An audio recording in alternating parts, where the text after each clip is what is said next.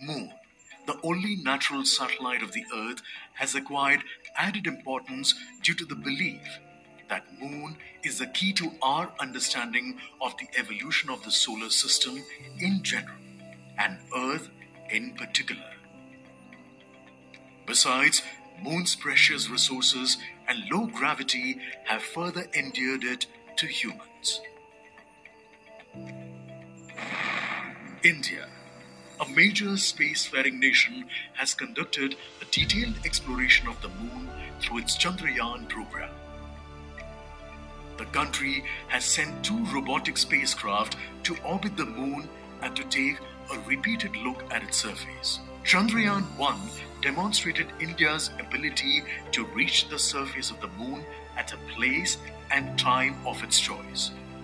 And with it, India became the fourth country to reach the surface of the moon in November 2008.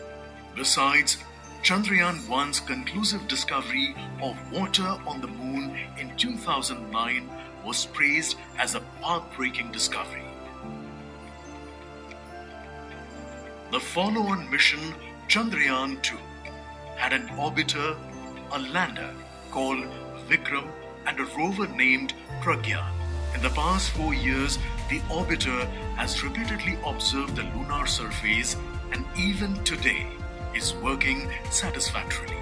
Now, 3,900 kilograms Chandrayaan 3 spacecraft is being sent to the moon with the objective of making yet another focused attempt to slowly land on the lunar surface and to explore it with the help of a rover.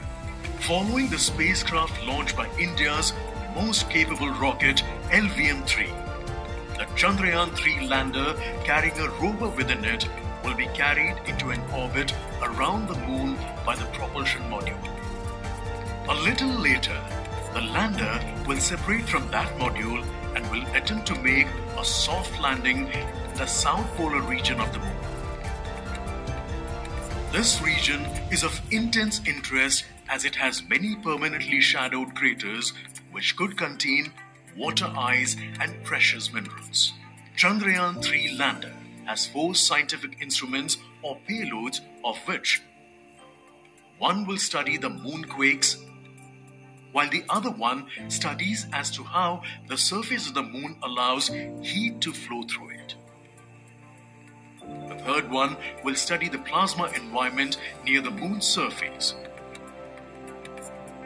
And the fourth instrument will enable scientists to measure the distance between the Earth and Moon very accurately.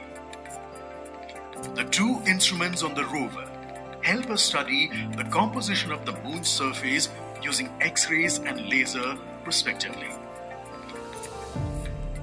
While the lander and rover will be in direct contact with each other. The propulsion module circling the moon will observe the light coming from Earth, the only planet which we know which is definitely teeming with life.